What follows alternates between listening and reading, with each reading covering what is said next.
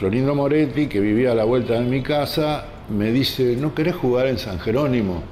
digo, no, no, mirá que te van a pagar. Digo, bueno, no sé.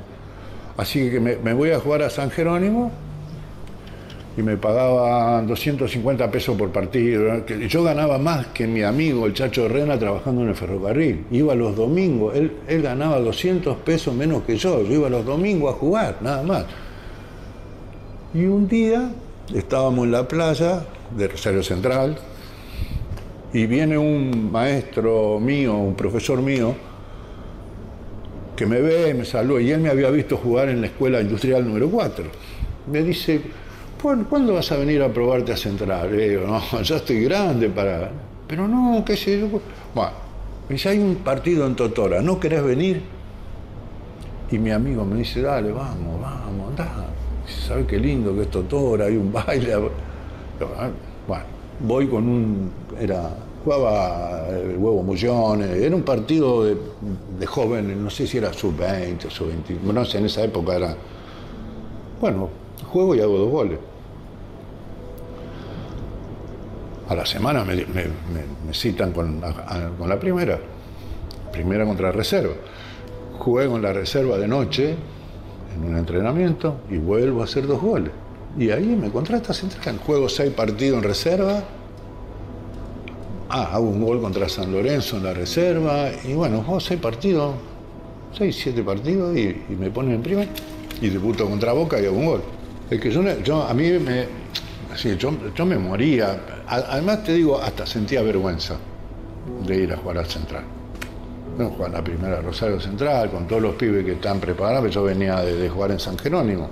Y además porque me pagaban y yo necesitaba para. Me, hacía muy bien esa guita para sostener a mi mamá. Estábamos los dos solos. Mi viejo se murió y nadie, en esa época nadie sabía dónde tenía, si tenía plata, si no tenía, ¿no? y bueno, y ahí en una charla con Flynn, que fue donde le dije, usted es hincha de Central, usted no quiere. Entonces le dije eso. mire, mi papá me decía que Cañotti, Gómez, Guzmán, Potro y García eran mejor que Muñoz, Moreno, Pedernera. Y me miraba como diciendo, no, no puedo creer que un pibe sepa la, esa delantera que fue en el, no sé, del año 30, qué sé. Bueno, y ahí me hizo el contrato y firmé en Central. Cuando le conté a mi mamá se puso a llorar, pero llorando como... Le digo, mamá, ¿por qué lloras? ¿Por qué vas a jugar en Central? Es una cosa, me, acuerdo como si fuese hoy, digo, Dios mío, lo que era el club en el barrio, en todos los lugares, mis amigos.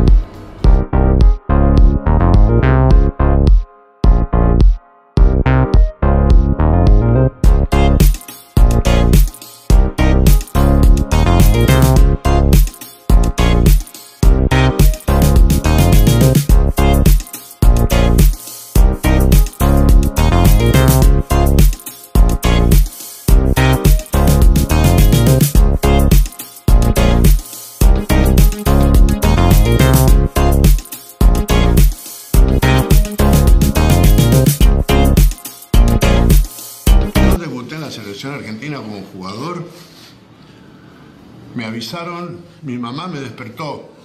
Me, despertó a las 12 del mediodía, 11 y media, me dijo, ah, despertate que tenés que ir a Buenos Aires. Bueno, me tomo el tren, 6 menos cuarto, 12 eh, menos cuarto retiro. No dormí con el diario y los cigarrillos fumando, mira, leyendo el diario. Para mí Grillo era, qué sé yo, un ídolo. De, no sabía qué hacer, lo trataba de usted. Bueno, te cuento esto porque todo me hizo pensar que no jugaba yo. Claro. Me llevaron de suplente. Me levanto a la mañana en el, en el, en el mesa de billar, anota a los jugadores. Bueno, dice Ratín, Grillo, Menotti.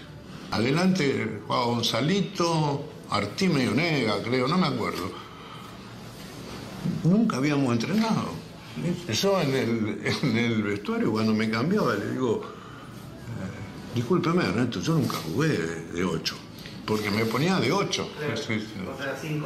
no, yo era 10 de enganche. Entonces, no, no, me dice, juegue como usted juega siempre.